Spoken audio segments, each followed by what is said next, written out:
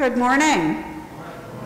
And welcome to St. Paul's Lutheran Church in Liverpool, New York, as we celebrate the fourth Sunday of Epiphany. Whether you're with us this morning or in person or online, please know that however you've joined us, your presence always enriches our worship. The glory of God is offered and revealed when and where it is least expected. God uses our lips to declare that glory, inexperienced and hesitant though they may be. God uses our love to demonstrate that glory and so urges us to exercise it.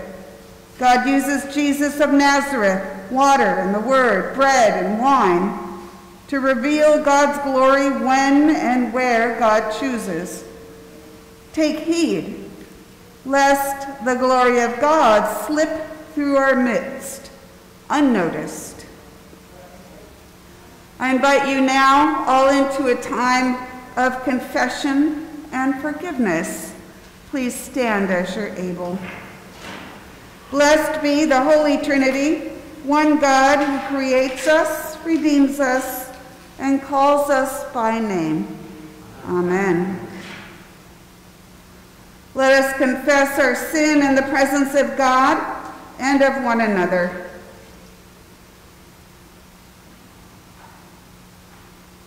Most merciful God, we confess that we have sinned against you and your beloved children. We have turned our faces away from your glory when it did not appear as we expected. We have rejected your word when it made us confront ourselves. We have failed to show hospitality to those you called us to welcome.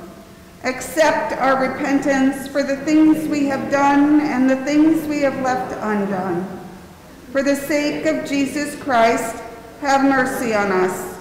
Forgive us and lead us, that we may bathe in the glory of your Son born among us, and reflect your love for all creation. Amen. Rejoice in this good news. In Christ Jesus, your sins are forgiven. You are descendants of the Most High, adopted into the household of Christ, and inheritors of eternal life. Live as freed and forgiven children of God. Amen. Our gathering hymn this morning is hymn number 644 for those of you with hymnals. Although I speak with angels' tongue, hymn number 644.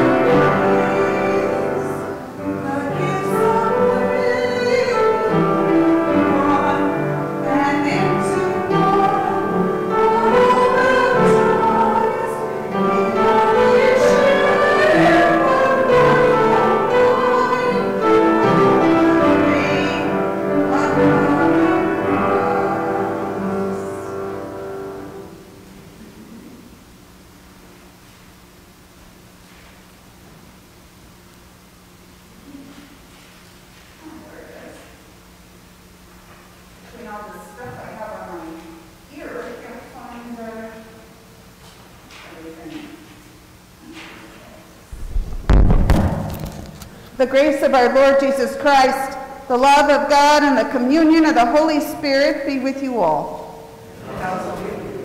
Let us pray. Almighty and ever living God, increase in us the gifts of faith, hope, and love, and that we may obtain what you promise. Make us love what you command. Through your Son, Jesus Christ, our Savior and Lord. Amen. Please be seated for the readings.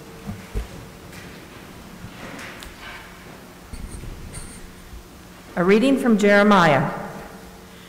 Now the word of the Lord came to me, saying, Before I formed you in the womb, I knew you. And before you were born, I consecrated you. I appointed you a prophet to the nations.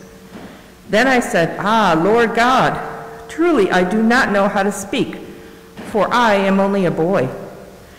But the Lord said to me, Do not say, I am only a boy, for you shall go to all whom I send you, and you shall speak whatever I command you. Do not be afraid of them, for I am with you to, to deliver you, says the Lord. Then the Lord put out his hand and touched my mouth, and the Lord said to me, Now I have put my words into your mouth. See, today I appoint you over nations and over kingdoms, to pluck up and to pull down, to destroy and to overthrow, to build and to plant. The word of the Lord. Thanks be to God. We will read Psalm 71 responsively. I will begin with the odd verses, and you may respond with the even. In you, Lord, I have, have I taken refuge. Let me never be put to shame. In your righteousness, deliver me and set me free. Incline your ear to me and save. Be my strong rock, a castle to keep me safe.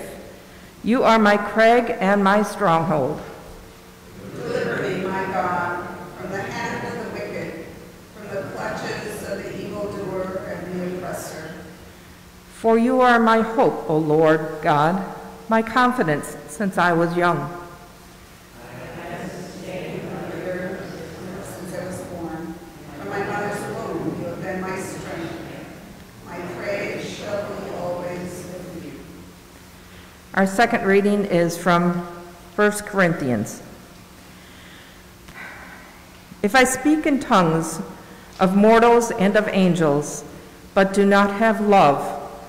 I am a noisy gong or a clanging cymbal.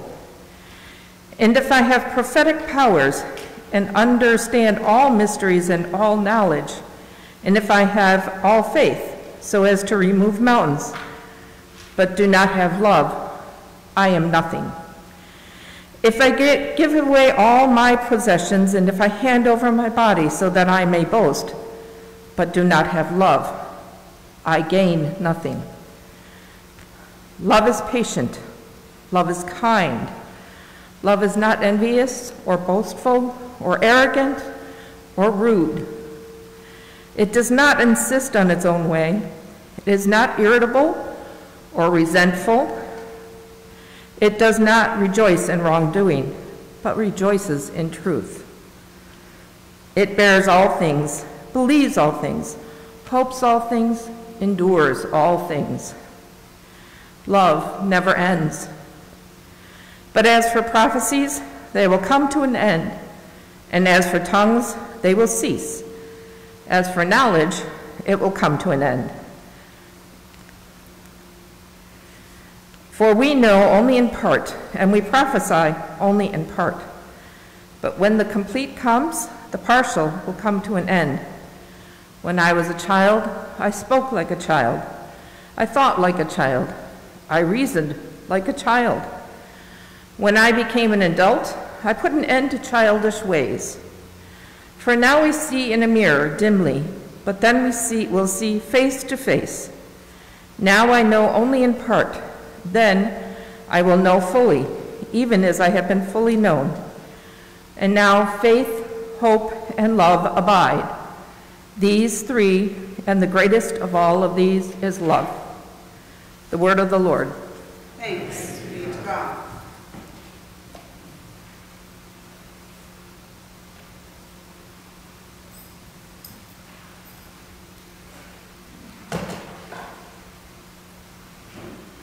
I'm wondering if there are any young people who are interested in coming forward?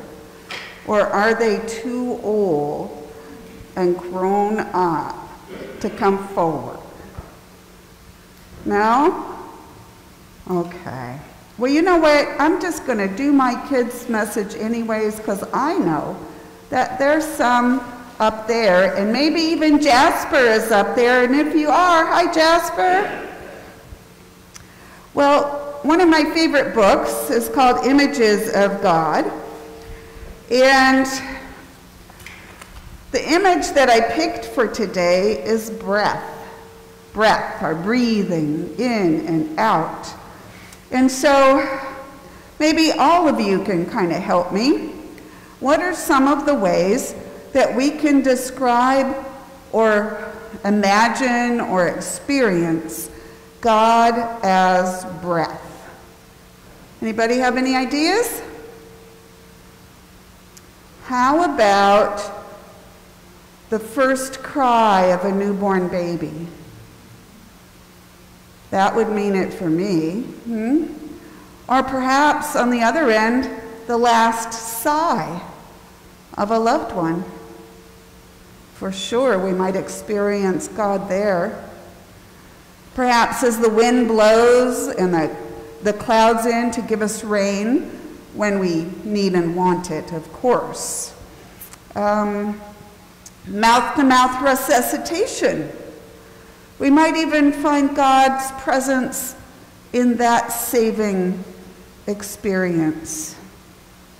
A cool breeze that refreshes us in the summer or fills our sails and perhaps even when we see the fog of breath in winter, it may remind us of God's own breath, breathing into God's first creation of us, right? God breathed into that first man to become a living soul.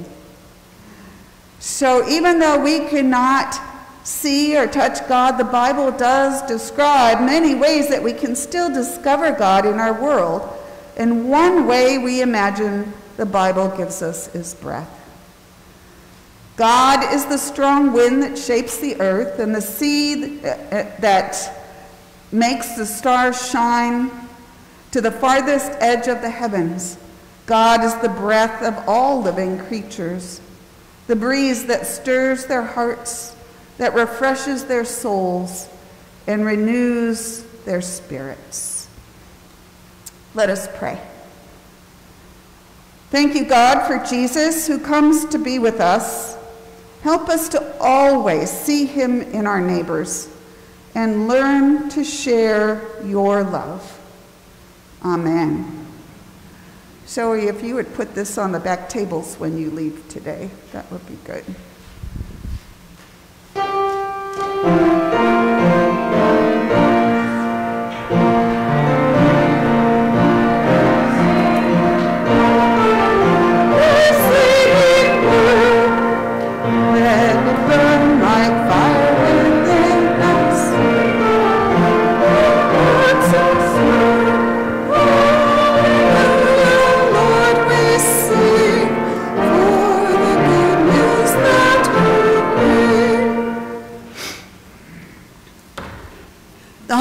Gospel according to Luke. Then Jesus began to say to all in the synagogue in Nazareth, Today, this scripture has been fulfilled in your hearing. All spoke well of him and were amazed at the gracious words that came from his mouth. They said, Is this not Joseph's son? He said to them, Doubtless you will quote to me this proverb, Doctor, cure yourself. And you will say, Do here also in your hometown the things that we have heard you did in Capernaum. And he said, Truly I tell you, no prophet is accepted in the prophet's hometown. But the truth is, there were many widows in Israel in the time of Elijah when the heaven was shut up three years and six months, and there was a severe famine over all the land. Yet Elijah was sent to none of them, except to a widow at Zarephath in Sidon. There were also many lepers in Israel in the time of the prophet Elisha, and none of them was cleansed except Naaman, the Syrian. When they heard this, all in the synagogue were filled with rage. They got up and drove him out of the town and led him to the brow of the hill on which their town was built, so that they might hurl him off the cliff. But he passed through the midst of them and went on his way. This is the gospel of the Lord. You may be seated. It's starting to sound a little bit like a soap opera, I think. Previously, on Jesus at Nazareth, we left the hometown crowds at peace in Jesus' presence and amazed at his words of freedom and restoration being fulfilled in their hearing. Last week, they'd been so proud to welcome him home into their synagogue, and not much has really changed since then. We're still in the synagogue, and Jesus is still among them. They had been amazed and speaking well of him, but now they're whispering back and forth, reminding each other that he is Joseph's son the atmosphere among them quickly changes as Jesus now seems to be saying all the wrong things for this crowd. First, he recalls a story from Elijah's time when God miraculously provided food for a poor pagan widow. Noting that there were many poor widows in Israel who didn't receive such miraculous food. Then he recalls a story from the time of Elisha when God miraculously cured Naaman, a pagan leper. Again, noting that there were plenty of lepers in Israel who weren't miraculously cured. To them, it sounds a lot like Jesus is favoring all those sinful pagans over his own hometown folks, telling them that God saves pagans, while many of the Jews in Israel suffer with the same afflictions. They don't like what he is saying at all. It's not what they want to hear. And since it's not what they had expected, they change their view of Jesus completely, basically declaring that he is a false prophet, the punishment of which is death. It's no wonder that so many prophets are reluctant to speak and to act in God's name. Jeremiah was sure no one would pay any attention to him just because of his age. Yet God appoints him to oversee nations, to pluck up and pull down, to destroy and overthrow, to build and to plant. Still, the people prefer to listen to another who offers what seems to be an easier way. Just go to the Sabbath, go to the synagogue on the Sabbath. There's no need to worry the rest of the time. Unfortunately, due to their lack of action and attention, they soon find themselves in Babylonian exile. Here we are, all these years later, and not much has really changed for us either. Not since the days of Jeremiah, and not since Jesus spoke to the people of Nazareth. We'd rather not be told that God loves those of whom we consider the opposition or perhaps even the enemy. We don't like having to think about people or things differently than we're used to. We're not so comfortable leaving our pews in the relative safety of what we know to share the good news out there. Instead, most of us would rather stick with who and what we do know, being praised for what we have done, rather than facing what we haven't what we may have forgotten, who we may have wronged or neglected. Perhaps we've even grown a little too used to seeking God in church on Sundays while going about our own business all the other days of the week. That's what the people of Jeremiah's time seemed to be doing, and that's how the people of Jesus' hometown seem to be living and that's how many people today, including many of us, seem to be spending our days. We tend to expect God to show up for us on our schedule, don't we? Yet, perhaps we've forgotten that God always shows up every day, everywhere, and for everyone. In today's second reading, Paul tries to help with a letter inspired by Jesus' commandment to love God and love each other.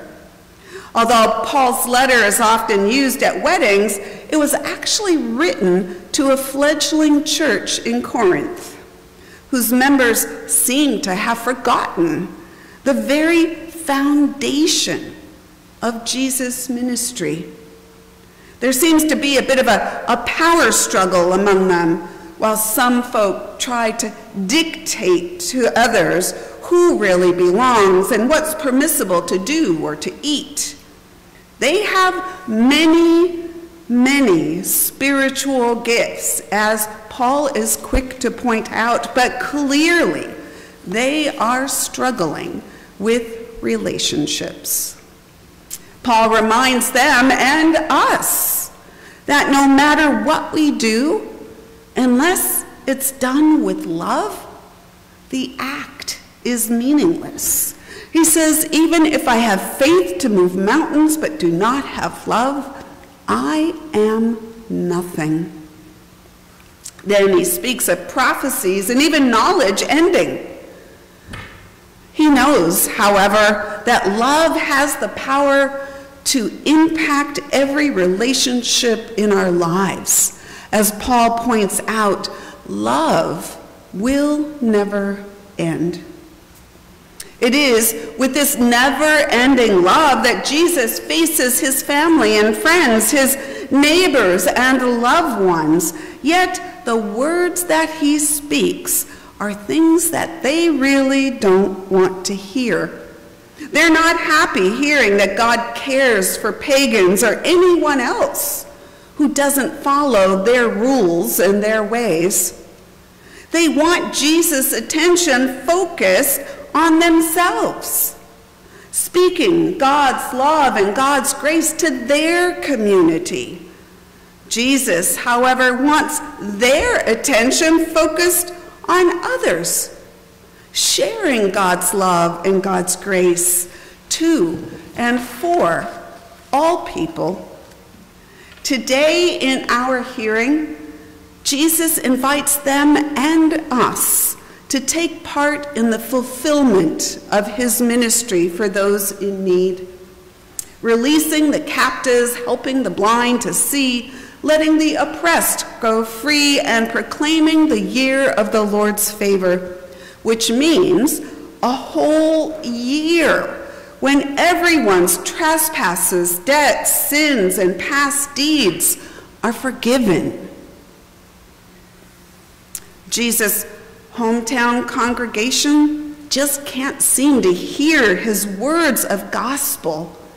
They hear only criticism and law. They can't see the opportunity that he offers. They see only the intensity of their anger and failed expectations. They don't recognize the needs of those who are different. They're focused only on their own. Maybe we're not all that different. Perhaps it is time for us to consider the things that we see and know clearly, as well as those things that we'd rather not see or think about at all. Is there someone that we'd rather chase off a cliff rather than listening to or accepting their voice or their story? Are there opportunities before us that we simply haven't noticed? Or perhaps we've chosen not to see them because of who and what they are. Today, Jesus reminds us that his proclamation of release and freedom is fulfilled for all people, not just within the hearing of those Nazarenes so long ago but today, now, in our hearing as well. As we listen to Jesus' words, perhaps we'll hear within them an invitation to take part in the fulfillment of his ministry, to serve others, even those who are different, to take part in God's ministry right here at St. Paul's in a new or different way to use our gifts, talents, and assets for the good of others, especially those in need outside of our doors. As a congregation, we join Jesus' ministry for the good of all people, helping to free those held captive by misconceptions and division, encouraging others to see what they've been missing in God's presence, standing up and speaking out for folks who've been oppressed in any way, reaching out to those who so desperately need to hear Jesus' words of good news and experience God's peace. Peace in Christ. It comes to each of us as we let go of our anger and self interests, learning to truly love our neighbors. It comes to us through every act of ministry that is based in love. We're able to love because God first loved us. We love others because they too are beloved of God. Whoever they are, wherever they're from, whomever they love, whatever identity that they feel deep in their hearts, no matter how they look, the color of their skin, or the language they speak. Let us come to know and to love them all, just as we are fully known and so beloved by God. Amen. Our hymn of the day is hymn number 581, You Are Mine, hymn number 581.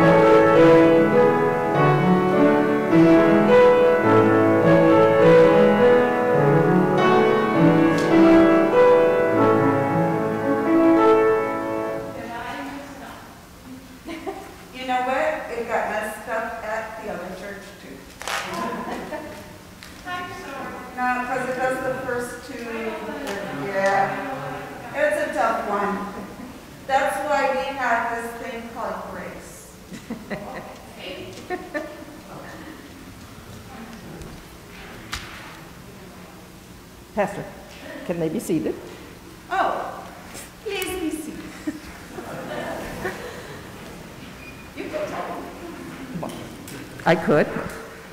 The Spirit of the Lord is poured out upon us in abundance, so we are bold to pray for the church, the world, and all that God has made. After the words, God of grace, you may respond, Hear our prayer. Guide your church in the ways of faith, hope, and love. Cultivate ministries and communities of compassion that bear witness to your enduring presence among us. God of grace, teach us to live in humility on the earth, curb arrogance that leads to destruction of natural resources and disregard for future generations. Inspire the work of scientists who urge us to live in harmony with your creation. God of grace. You are the refuge of all who seek hope and freedom. Accompany immigrants, refugees, and asylum seekers who cross borders to find safety and opportunity. Embolden leaders to draft compassionate policies on behalf of migrants and those who assist them. God of grace. Love bears, believes, hopes, and endures all things. Comfort with your love all who are lonely, fearful, and brokenhearted. Sustain the hope of all those who suffer in mind, body, or spirit, especially those on our prayer list and those we offer now, out loud or in our hearts.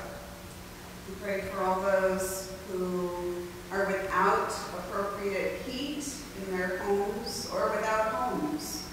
We also pray for those who are affected or infected with all life, life-threatening or life-changing diseases. And we also pray for the congregation of St. Stephen. God of grace, Hear our prayer. Your grace falls upon young and old alike. Bless the gifts of children in this congregation and in this community. Give us humble hearts to follow their leadership. Inspire us with their laughter, their insight, and their curiosity. God of grace, Hear our prayer. we praise you for those who have gone before us and now see you face to face. Abide with us in this mortal life until we rest in the arms of your never-ending love. God of grace, since we have such great hope in your promises, O God, we lift these and all our prayers to you in confidence and faith through Jesus Christ our Savior. Amen.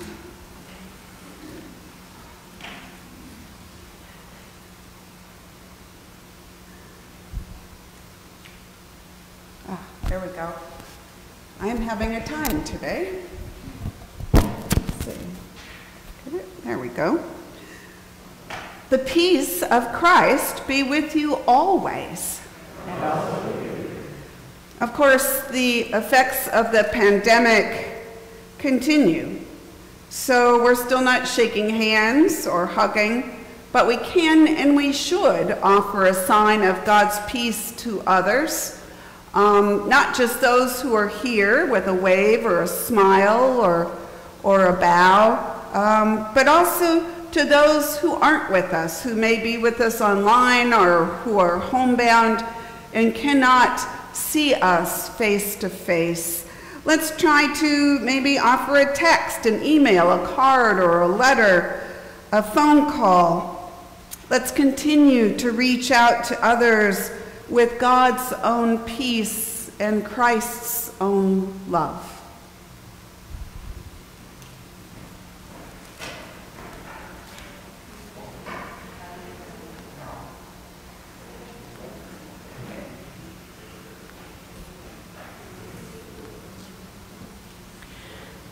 God works in us, through us, and through our giving to support the ministries of God in our church, including the care of those in need. If you need assistance of any kind, please let Pastor Deb know. If you have a stable income and can give even a little bit more, we deeply appreciate your generosity. Let's be a blessing for others, as Christ has been a blessing for us all.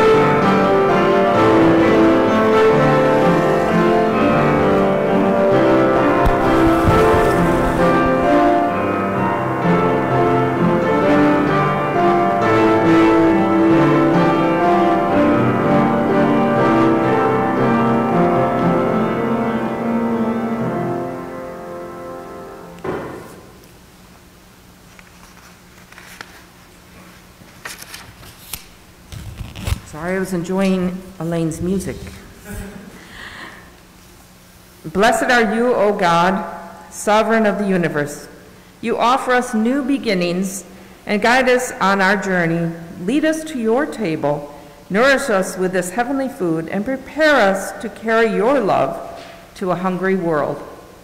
In the name of Christ our light, The Lord be with you. Lift up your hearts. Let us give thanks to the Lord our God. It is indeed right, our duty and our joy, that we should at all times and in all places give thanks and praise to you, Almighty and merciful God, through our Savior Jesus Christ. By the leading of a star, he was shown forth to all nations. In the waters of the Jordan, you proclaimed him your beloved Son. And in the miracle of water turned to wine, he revealed your glory.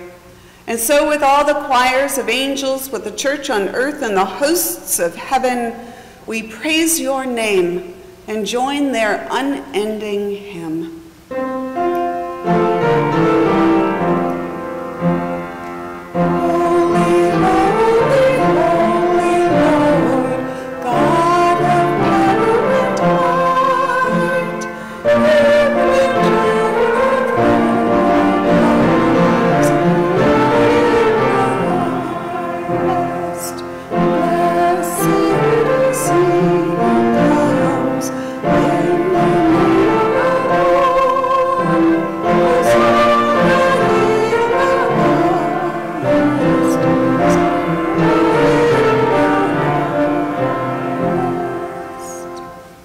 You are indeed holy, almighty and merciful God. You are most holy, and great is the majesty of your glory. You so loved the world that you gave your only Son, so that everyone who believes in him may not perish, but have eternal life. We give you thanks for his coming into the world to fulfill for us your holy will and to accomplish all things for our salvation. In the night in which he was betrayed, our Lord Jesus took bread and gave thanks. He broke it and gave it to his disciples, saying, Take and eat. This is my body given for you. Do this for the remembrance of me. Again, after supper, he took the cup, gave thanks, and gave it for all to drink, saying, This cup is the new covenant in my blood, shed for you and for all people for the forgiveness of sin. Do this for the remembrance of me. For as often as we eat of this bread and drink from this cup, we proclaim the Lord's death until he comes. Christ is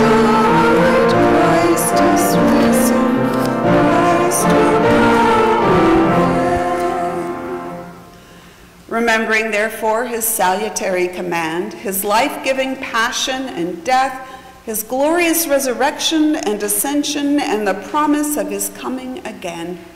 We give thanks to you, O Lord God Almighty, not as we ought, but as we are able. We ask you mercifully to accept our praise and thanksgiving, and with your word and Holy Spirit, to bless us, your servants, and these your own gifts of bread and wine, so that we and all who share in the body and blood of Christ may be filled with heavenly blessing and grace and receiving the forgiveness of sin may be formed to live as your holy people and be given our inheritance with all your saints. To you, O God, Father, Son, and Holy Spirit, be all honor and glory in your holy church, now and forever.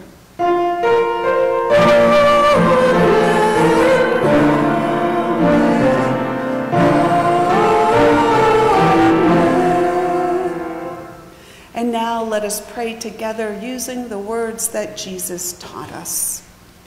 Our Father, who art in heaven, hallowed be thy name. Thy kingdom come, thy will be done, on earth as it is in heaven. Give us this day our daily bread, and forgive us our trespasses as we forgive those who trespass against us. And lead us not into temptation, but deliver us from evil. For thine is the kingdom and the power and the glory forever and ever. Amen. I now invite you to take out your little communion kits. If you forgot to pick one up, please raise your hand and we'll make sure you get one. If you have trouble opening it, please raise your hand and we'll make sure you get some help. Just peel back the top layer to reveal the wafer and put it in your hand. Then peel back the bottom layer to reveal the juice. And then hold them up so that I know when everyone is ready.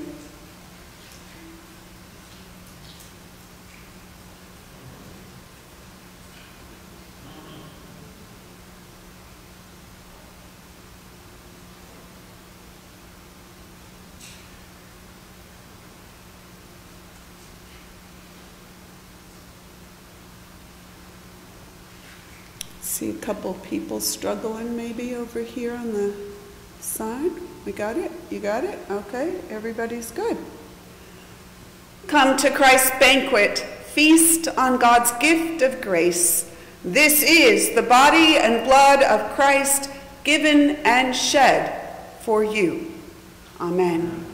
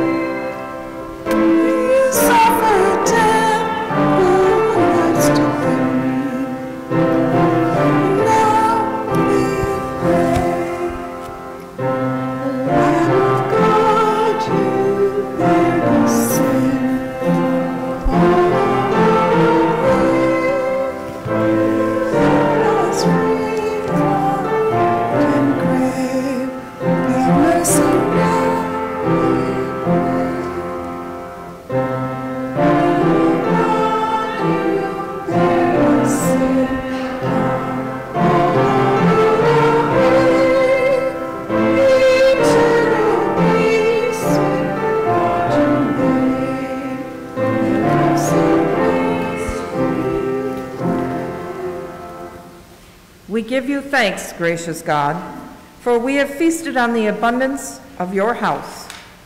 Send us to bring good news and to proclaim your favor to all. Strengthened with the richness of your grace in your Son, Jesus Christ. Amen. Amen. So it's time for a few announcements. As usual, we have been broadcasting on Facebook Live this morning, and the video will be posted to our Facebook page right after worship and later to our YouTube channel. Both can be accessed from our website, which is www.stpaulsliverpool.org or www.stpaulsliverpool.org. If you or someone you know might benefit from pastoral care or contact, please let me know. Even if they don't want to visit or anything, I can at least keep them in my prayers. If it's an emergency, please call my cell phone or send me a text message. You can call the office or send an email or leave a message. I will reach out however I am able. Of course, we continue with COVID 19 mask requirements according to uh, the state and the CDC. Everyone who enters our building for whatever reason must wear a mask. If you're not feeling home, or home, if you're not feeling well, please stay home. Help us to prevent illness from being passed to others. Our four-week Bible study has finally gotten kicked off uh, successfully last week, and we continue this Thursday with chapter 2. I still have a few books, they're $5 each if you're interested, or if you would just like to study at home. Let's see, all about the food. So, we have some chili leftovers. You may have noticed when you came in. So, a meal like uh, we were passing out yesterday is now $8 per meal. Um, if you would like the equivalent of two bowls, that's those plastic containers, um, that, those are $12, um, but they don't come with all the bags and stuff that's in it. So um, you've got some options for lunch today. How yummy is that? And of course, on February 2nd, that is this coming Wednesday, it is Hump Day at the American Legion in Liverpool. Um, and I am very excited because it is homemade goulash. So, um, to be honest, I'm not sure exactly what that is, but it sounds really good. and, and if uh, Sue says it's a good thing, then it's a good thing. Um, but it includes tossed salad, roll, uh, dessert, and, and so forth. You can eat in or take out, um, pre order, and so forth. So um, that also supports the American Legion, and it is a good thing to do. Now I invite you all to stand for the blessing.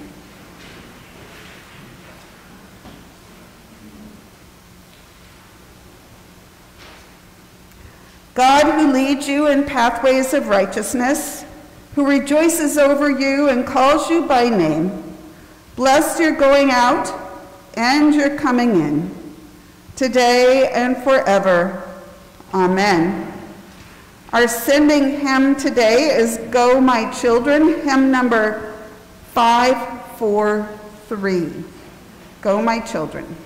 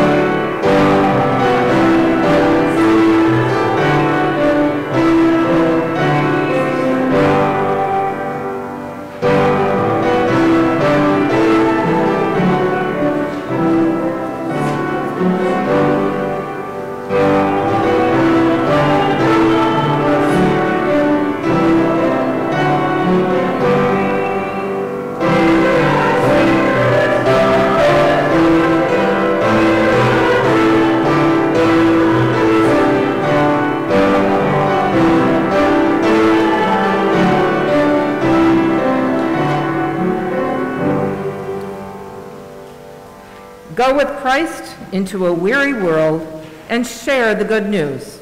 Thanks be to God.